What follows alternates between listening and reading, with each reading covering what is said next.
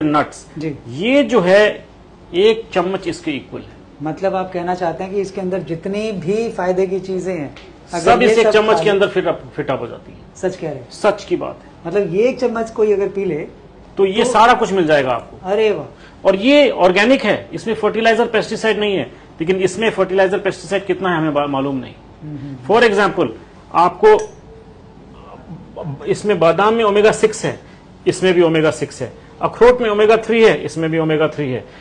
इसमें omega seven है, लेकिन इन सब चीज़ों में ओमेगा सेवन नहीं है। इन सब चीज़ों में ओमेगा नाइन नहीं है।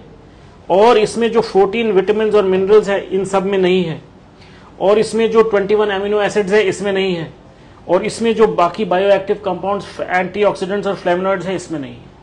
तो सर पीने का कोई किसी को साइड इफ़ेक्ट तो नहीं है? इसको कोई ले लो। कोई भी साइड इफ़ेक्ट नहीं है। इसमें सारी चीज़ें फ़ायदे की ही होती है। कोई एडवर्स साइड इफ़ेक्ट नहीं। तो इसे एज ए जूस ही लिया जा सकता है किसी और फॉर्म में भी? आप इसको एज ए जूस ले सकते हैं। या तो